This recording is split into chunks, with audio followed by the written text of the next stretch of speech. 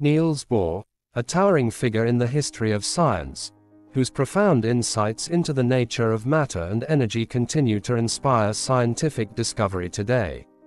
Here are 10 facts about the Great Dane, Niels Bohr. 1. Early life and background. Niels Bohr's upbringing in a family of academics deeply influenced his scientific inclinations.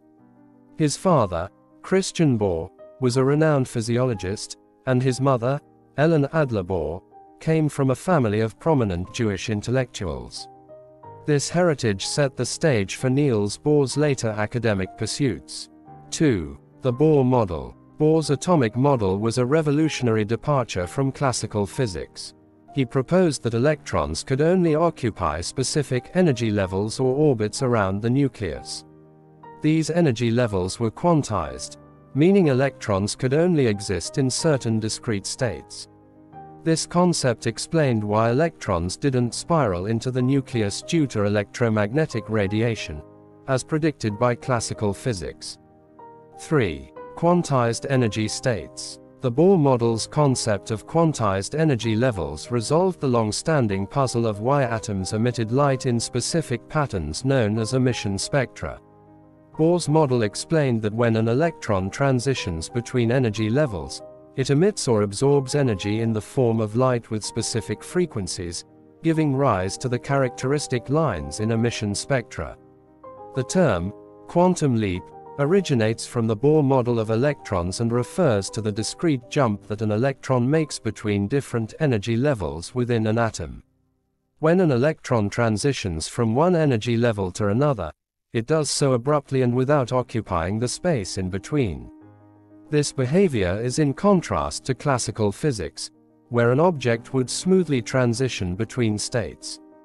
4. Nobel Prize recognition. In 1922, Bohr was awarded the Nobel Prize in Physics for his groundbreaking work on atomic structure and radiation. The Nobel Committee recognized that his model provided a conceptual framework that bridged the gap between classical and quantum physics, significantly advancing our understanding of the atomic world. 5. Involvement in World War II. During World War II, Bohr's insights into nuclear physics became critical. He fled Denmark due to the Nazi occupation and sought refuge in the United States. He played a role in the Manhattan Project, contributing to discussions on the potential use of atomic weapons. However, his advocacy for international cooperation and peaceful use of nuclear energy was in conflict with some wartime goals. 6. The Niels Bohr Institute Bohr's establishment of the Institute of Theoretical Physics in Copenhagen created a haven for collaborative research. The institute attracted brilliant minds from around the world such as Werner Heisenberg and Wolfgang Pauli, and fostered an environment of intense scientific exchange. It became a hub for key developments in quantum mechanics and related fields. On October 7, 1965, which would have been Bohr's 80th birthday, the institute was renamed the Niels Bohr Institute in his honor.